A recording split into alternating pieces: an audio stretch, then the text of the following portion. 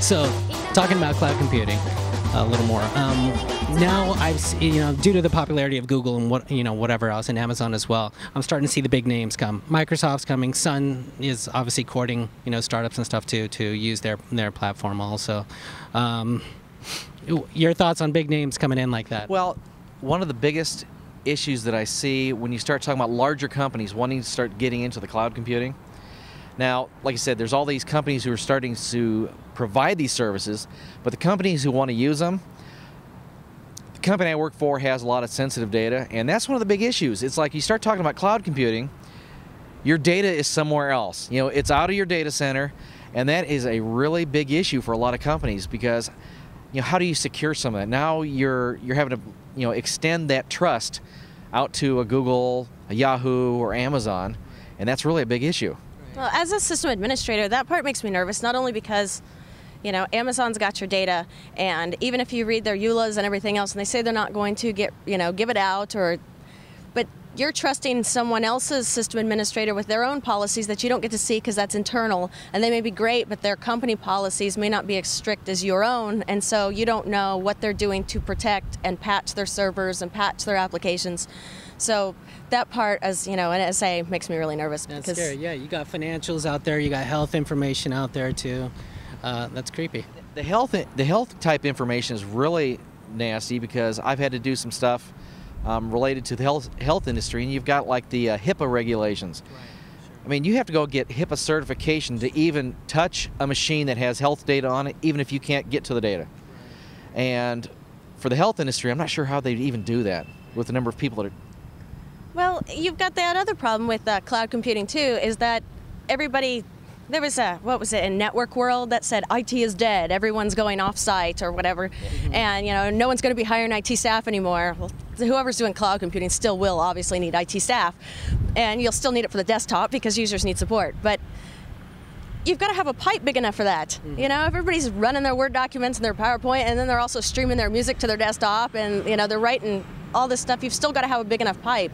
And I work. My day job is at a college, and we easily use up our pipe. You know, students and everything else. And I don't know how we could possibly offload our applications and get any work done. See, that's another thing I was going to ask you. Is like, you know, there's this argument about who who cares about the operating system anymore. Who, who cares? You know, um, because everything's web-based now. You have, you know, whatever Google Docs. You have uh, Acrobat.com now. You know, all kinds of that sort of office type applications, applications in general going to the web. Why should anyone? Does the operating system even matter anymore? Well, I got really slammed this week here at Linux World because I try to keep everything offsite. I use Google Docs, I use, you know, Gmail, I use all that stuff. Yeah, yeah, yeah. And the Wi-Fi at Linux World was terrible. You couldn't stay connected. It kept dropping me. I was trying to use CoverItLive to do live blogging, and I couldn't because it kept dropping my connection. So install fest. What is this? I, I, I keep hearing that. Is it is that what they called it at Linux World? Yes. Yeah, it's a it's a community project. It was, it, this was a very cool project. It's um, run by oh, I gotta get his names right. James James Burgett. Bur- James Burgett of the uh, Alameda County Community Resource Center. Um, what they do is they take donations of older hardware that people are trying to get rid of, and then they try to cobble together machines that have like I think the minimum was like a P3 one gigahertz, like minimum 256 mega RAM, and so the machines they can use, they go through and they'll install like a version of Ubuntu or Xubuntu, Edubuntu, and then what they do is they turn around and they donate these to like the different school districts that maybe can't afford computers, or um, people who are disabled. You know, maybe they're maybe they live just on a disability pay, they can't afford this stuff, but trying to get them, get those people, you know, some kind of computing power, and even though it's a lower end machine, when you put the like the Ubuntu or Xubuntu one of those, you actually still have a pretty good usable desktop. Oh gosh, some of those were screaming. Oh, so Once you get them installed. Where are the sexy machines though? Why is it Linux always gets the leftover? Found some sexy machines.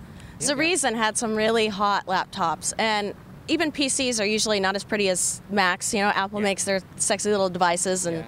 you know, I went and holy cow, bought an iPod Touch because it was so sexy. It you is, know, it is. I lost one on a plane. It was so $400. Here you pretty. go.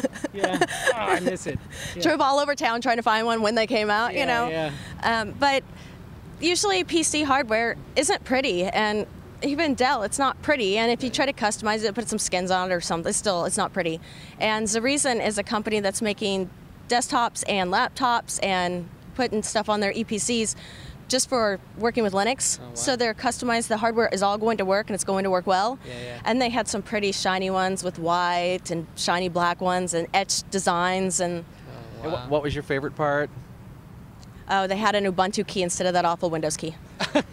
Oh, that's cool. So is everything working, you know, in, in the the Linux experience now, like Adobe, uh, like Flash plugins and, and Silverlight plugins, you know, for rich sort of websites now. If I'm, you know, there used to be like some things that were lacking, and it seems like some web web applications, things like that, seemed to like either didn't support Linux or just weren't working very good. Flash is a lot easier to get working now, but it's still proprietary. Flash has problems on its own right Yeah. in every operating system, so it's not as hard to get working in Linux as it used to be. It's pretty much if you've got a package management, you can just tell it to install it and away it goes. So The, the main thing that was nice to see over the last year or so is they've actually got the versions for Linux matched up with the same version levels that come out for Windows. So they're coming out at the same time. Before it was like, you know, you had version 8 of Flash for Windows, and then it was 6 point something over here under Linux. A lot of stuff wouldn't run. it was old and crappy. Right. Adobe's finally got off up their backside here and at least got them matched up, which I'm still not a big Flash fan, but sometimes you, you need the stuff out there. And then there's the open source Gnash, G N A S H. And what they're doing, it's an open source implementation of Flash for Linux. Wow. I haven't tried that. I've seen a couple of people having the machines, and for playing like YouTube videos and stuff, seem to work just fine.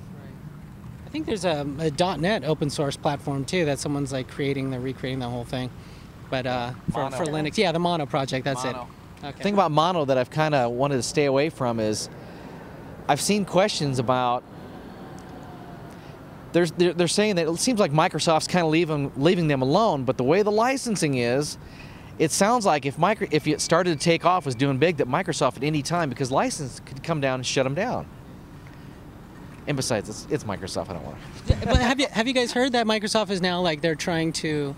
I I'm being devil's advocate here. um, you know, they're trying to get more. Co- they're cozying up. I was reading an e-week this you know, this week um, with the open source community. Yeah, I think they just joined the Apache Foundation or something like that. Thoughts on They're that? starting to get scared a little bit. I mean, they spent all this time on Vista. Vista came out.